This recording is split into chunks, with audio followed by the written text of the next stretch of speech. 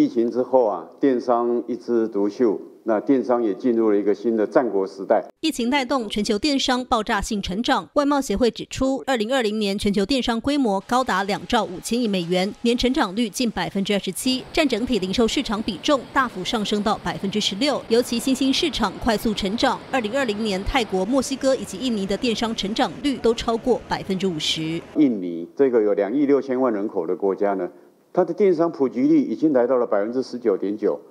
跟美国这个先进国家的老大呢，百分之二十点三，已经相去几乎是一样了，所以我们可以看得出。在西南向国家的这种电商消费的潜力，外贸协会整理全球五大市场，包括北美、拉丁美洲、欧洲、印度、东协指标性国家电商网购前三名的畅销商品。北美的加拿大和美国以消费性电子及服装居一二名。深耕北美市场的电商平台业者表示，疫情期间台湾厂商在三 C 类产品销售表现佳。第一个当然最明显就是三 C IT 类，因为你在家追剧、在家上班、上学、运动休闲类的确很多。像我们站上最近卖的很好就是电动。自行车几个品类在在东南的表现的确是对台湾台台湾上面来讲都是非常好的。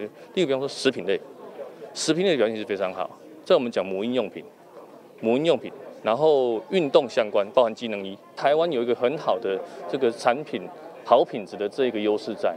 那东南亚市场现在有很大的这个这个这个商品的供给是来自于中国。外贸协会表示，物流的最后一里路是电商决胜负的关键。在欧美市场，电商网购物流所需天数约一到两天。深耕北美市场的电商平台业者表示，消费者在意是否有现货，建议台湾厂商要在北美设立仓储，一收到订单立即出货。对于明年电商市场，业者乐观看待，但包括供应链、运输成本增加，都是要注意的风险。